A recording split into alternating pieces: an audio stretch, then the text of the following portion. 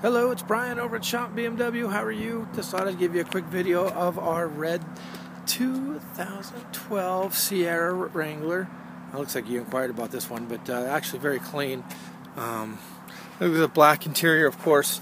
Uh, ma manual, or excuse me, automatic transmission. And uh, maybe we can kind of take a quick look um, if, it, if it gets it anyway. But hardtop as well, of course, four-wheel drive. Decent uh, shape for the year that it's in, actually. And of course, being the Sahara model, it uh, I think has all the bells and whistles. But anyway, just thought I'd give you a quick look at what this one might look like. Uh, please give me a call again, Brian. Schomp BMW. Talk to you soon.